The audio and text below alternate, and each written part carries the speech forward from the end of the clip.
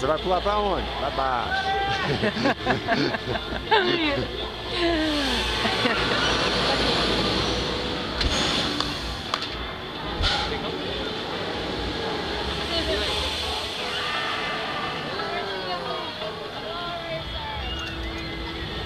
Pular vai fazer o quê? Gritar.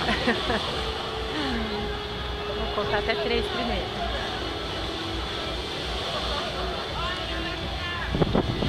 Empurra logo!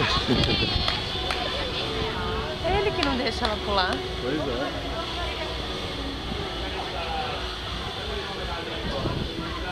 O japonês fala mais que brasileiro.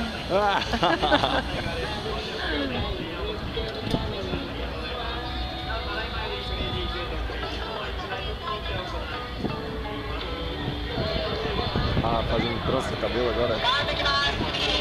É, isso mesmo.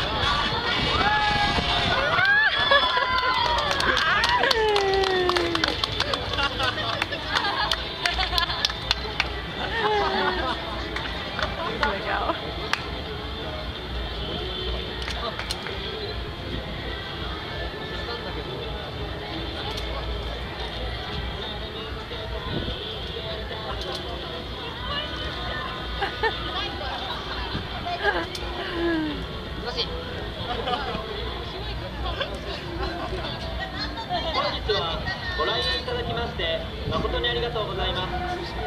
ご来園のお客様にご案内いたします。本日は